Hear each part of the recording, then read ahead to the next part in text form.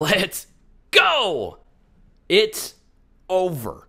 This guy will no longer be a part of LSU football, or at the very least, I hope Ed Orgeron has completely shut the door on this guy.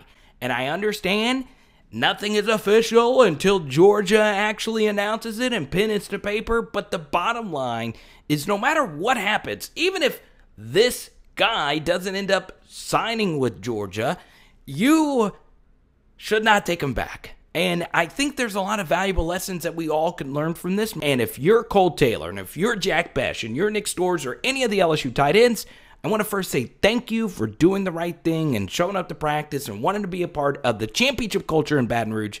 But now this is your time. This is your time to show the entire LSU coaching staff that we had the championship level tight ends all along and that we didn't need this guy. And by the way, LSU won without this guy. Now, we are going to touch on so many different things in this video. However, I want to see how great we could be together as a PHL community. I don't want anyone to name this guy. He's not in the title, he's not even in the thumbnail, he's not in any part of this video because I've gotten so many questions asking me to talk about this guy. And I've also gotten so many comments saying, I'm tired of talking about this guy. So this guy will not be named, okay? So that is the number one lesson that we need to take in, in when it comes to this guy is LSU for sure needs to shut the door on this guy. Even if this doesn't work out with Georgia, you will lose a lot of people if you decide to potentially bring back this guy if for whatever reason he doesn't end up signing with Georgia this time around. Point number one I want to make is no one player makes the team, especially at LSU. If someone is not doing what is right, if someone doesn't want to be there, if someone is out of line for whatever reason, no matter how nefarious uh, the act may, they may or may not be doing, obviously you need to move on. And I do feel I need to defend Ed Orgeron before we slide into point number two. There is a football film reason why they wanted to bring back this guy. Because if Kole Taylor was capable of doing what this guy was able to do, LSU wouldn't have spent so much time trying to get back this guy. The problem was Kole Taylor can't do what this guy can do uh, as a receiver or as a blocker, okay? Because we did a full film study on this very thing, and if you want to watch it, it'll be linked down below. It's also floating in the top right corner of your screen. And uh, look, you you could just see why Kole Taylor struggled as much as he did, and he even did so some in the spring game. And I like Kole Taylor a lot. But now, of course, he's going to have to step up. I'm just sharing why Ed Orgeron decided to really, and, and the LSU staff tried to really get after getting this guy back. Now, here's the thing number one, this guy was the one who put Kole Taylor in this absolutely crappy spot to start as a true freshman with two games left to go. And number two, LSU was still able to win the game despite Kole Taylor struggling. Now, once again, I'm crossing my fingers that Kole Taylor takes a supernatural jump in year two, even though I still think he is a year three development type of guy. But that is why LSU really tried to pursue him. It wasn't so much this guy's actual ability, it's what LSU had left. However, I am super high on Jack Bech. He was my favorite receiver that LSU brought in in this class. And Nick Storz, of course, has a lot of promise, especially as a blocker. And maybe Jack Bashburn, who knows? Maybe LSU want to, maybe LSU runs more for wide receiver set, which we talked about in our offensive depth chart piece. I'm going to share a few personal anecdotes because I think a lot of you will relate with this one time and resources in the world of college football. Now, first thing, it was justified all the time and resources to get this guy, okay? Because he did transform the offense. He did have a great first season. He was a five star recruit. So LSU was right and justified in getting this guy to Baton Rouge. And guess what? You should go after the five star out of state guys. It is worth your time and resources to go after them. But no way did LSU could could have known that this disaster would have happened. I understand as well, let me say this first. I understand as well initially trying to get him back, even when he decided to opt out. But looking back on it, once he said that he was going to Florida, LSU should have just moved on and cut ties altogether. Uh, because look at all the time and resources it took to potentially get him back. Now, I, I've shared this before on other live streams. I like this guy personally. I have nothing personal against him. However, I do have something against his actions. Now, I've also shared this before. I don't feel comfortable talking about someone else's academics, but it is well known now that there is academic hurdles when it comes to this guy. So we don't even know if he's going to be eligible to play, whether that would have been with LSU or Georgia or JUCO or wherever.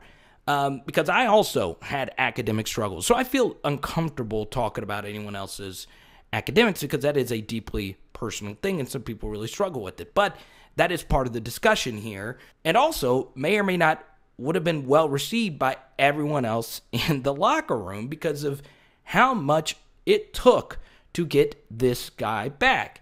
Now, think about how the team would have felt when this guy has already decided to go to the team that he left the, the, the exact team he left the week before to play you guys the next couple of seasons. Okay, this guy was going to someone on our schedule every single season, and we were just going to take him back. Do you think it would have really been well received by everyone, not only in the locker room, but in the building? Probably not. And even on top of that, all these other guys are in the transfer portal. All these other potential players may not be able to have the ceiling of this guy, but it took all your time to get them. And it's not just Ed Orgeron's really valuable and limited time. It's your offensive coaching staff. It's your offensive teammates that are just teammates in general that tried to re-recruit him back. It's the compliance directors that had to deal with this disaster. So think about all the damage that could have caused because do you think all the assistants and compliance directors and, and teammates that were trying to get this guy back were happy? Uh, no, because this was tedious, childish behavior that they were chasing. So that takes a mental toll on you as well. These role players that were really putting into work to potentially get this guy back. So even if he would have come back and he was productive, it may or may not have been worth it because of all the ancillary. Is that the right way to use that word? All the extracurricular damage that it could have caused different people that work and play for the program. Another good example of, of wasted time and resource was Zachary Evans, the five star running back out of Texas. And the reason why I use this example because there was red flags galore, much like this guy. Uh, Zachary Evans was suspended before a state championship game, and the team ended up winning without him. And he was suspended because he wouldn't get off his cell phone before the game. Also, uh, I understand that that's just one mistake. He was also suspended earlier in the season, uh, and you know I, I don't know exactly what happened there, but those I would want to stay away from someone, especially when that 2020 class had such a limited amount of slots and that potentially could have cost LSU some other players for that slot. Now, they ended up getting uh, Tre Bradford in the end, a running back replacement, but still, it, it was too much time and, and, and effort into a player that was risky to begin with. So, this point forward, I understand that 17 and 18 year olds' characters are, are not going to be, you know, they're not going to be fully formed. They're not going to be an adult. But there are a lot of recruits that are doing the right thing. And I would want to make sure if I was using a slot in one of those recruits that they were one of those kids that actually did the right thing at all times or most of the time. Now, point number three is going to be very fascinating. And we must keep slots open for the next few recruiting classes. I understand that this doesn't really relate to this guy, but it kind of sort of does. You notice Georgia not only got this guy, they also got Derion Kendrick. Now, Derion Kendrick was a really good defensive back for Clemson that also has some baggage, but still, he, he was a starter in their secondary that has a lot of national experience. Now, of course, he had two rough games in New Orleans, one against us, one against uh, Ohio State, but still, he's a very good player. And Georgia has all these extra slots on the back end of their class to spend it on some some some potential players that could help them get to the national championship game. Here's the thing: let's say a, a guy just opened himself up at this point in the process, and LSU really wanted him. Well, they couldn't get him now because all their slots are filled up. So, and outside the boxing, which we'll touch on in some recruiting videos upcoming, is you must leave slots open because now more than ever, we're going to see more and more players enter the transfer portal and they're going to be immediately eligible for whichever team that they go to. And if that's the case, you would much rather have guys that have been battle tested join your team and and take your team to the next level. And there's really no program in the SEC that has been uh, better served with transfers than LSU. So moving forward, when it comes to you know recruiting slots and classes, understand that. Eh, and, and this is why it's very important. LSU has taken in all these official visitors. Even if you fall in love with the kid, really evaluate if that player is worth a slot in this class. Um, because, you know, that's going to be very important moving forward because from this point forward, I want LSU to have as much flexibility in the transfer portal as they possibly can. So maybe uh, looking at this class now, I, I would be fine with taking 22 kids, maybe 23 but uh, no more than that because you want to make sure you leave at the very least two slots for kids to come over in the portal.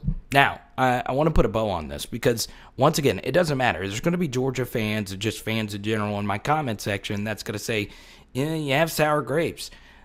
No, I I want what's best for whichever recruit. If this guy is happier there, I'd rather him not be a part of a team that he doesn't want to be a part of and closer to home and whatever not whatever else. But what I can say is the same thing I ended with my video yesterday. You are not a good teammate. you put your team in a bad spot. And I think, you know, he has realized that and he's got plenty of time for to atone for that and of course mature and become uh, an NFL player or whatever. And I think he obviously has the talent uh, to do such thing.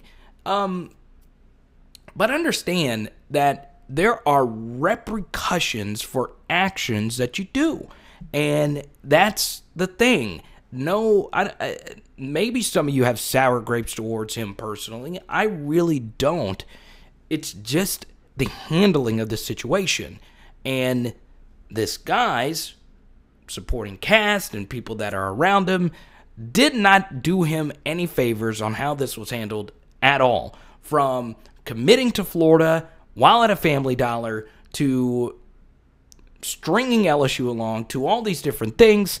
I'm telling you, there are NFL teams that have already crossed you off their board.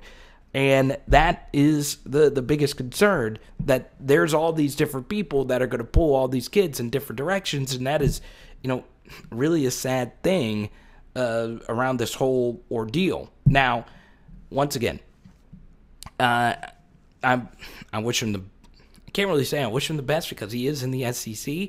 I do think uh, from an LSU perspective, it's much rather you much rather him go to Georgia than Florida. Even though if you do win the SEC, you're more than likely going to be playing Georgia in the SEC championship game. Um, but still, it is better if you went to the Dogs instead of the Gators. Uh, but still, it, it, you would much rather him have, have gone to uh, just an out of conference school, or the, preferably one that's never going to go to the playoff. But here we are. Hope you subscribe. Hope you enjoyed this video today. Once again, I'm challenging you to not mention this guy's name in our comment section. Um, and we'll, we'll see. We'll see what happens. We'll see who actually uh, abides by that. All right, we got some fun videos that you can watch floating in your face right now. It is Power Hour LSU. Boom! And we got these big tuna steaks tonight. Let's go.